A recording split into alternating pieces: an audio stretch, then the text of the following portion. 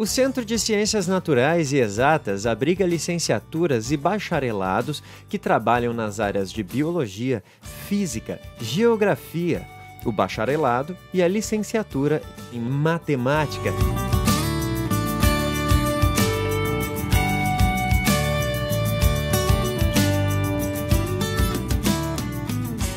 E química, além dos novos cursos de estatística e meteorologia.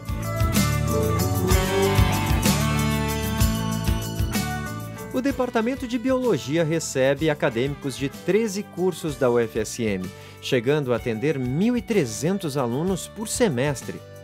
No curso de Biologia, o aluno escolhe entre licenciatura e bacharelado, depois de completar o terceiro semestre, e pode atuar em diversas áreas do estudo de animais ou do meio ambiente. O curso de Física é dividido entre bacharelado e licenciatura em Física. Quem se forma no bacharelado atua em pesquisas científicas e também no ensino superior. Os profissionais unem as informações que retiram da natureza e da produção científica com seus experimentos e teorias, explicando através da física os fenômenos que ocorrem no dia a dia.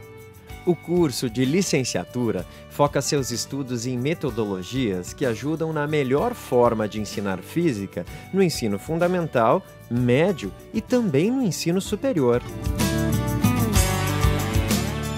Os cursos de bacharel e licenciatura em geografia do CCNE trabalham, além da parte exata, o lado humano da área.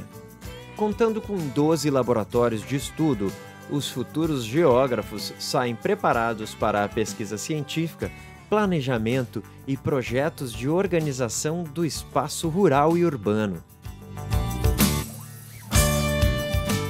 A Química da UFSM possui o título de melhor do Brasil.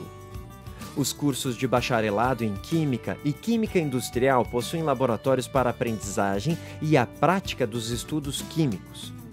Já a licenciatura trabalha com o ensino da química, produzindo inclusive jogos de computador que, financiados pelo MEC, ajudam na aprendizagem da disciplina no ensino médio.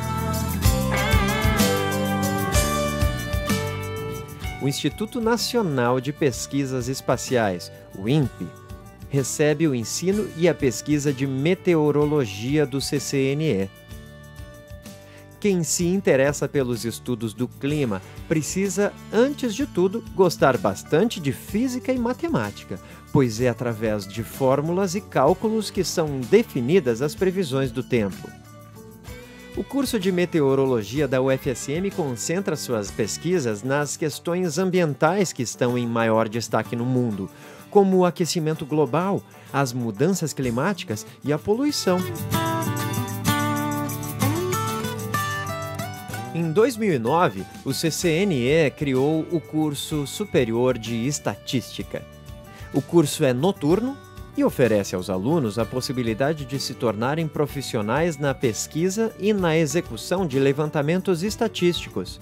Cálculos, lógica e probabilidades são os principais campos nos quais os estatísticos concentram seus estudos, para depois de formados atuarem principalmente no setor financeiro mercados varejistas, indústrias e empresas de pesquisa de mercado. Esse é o Centro de Ciências Naturais e Exatas. Esse é o CCNE.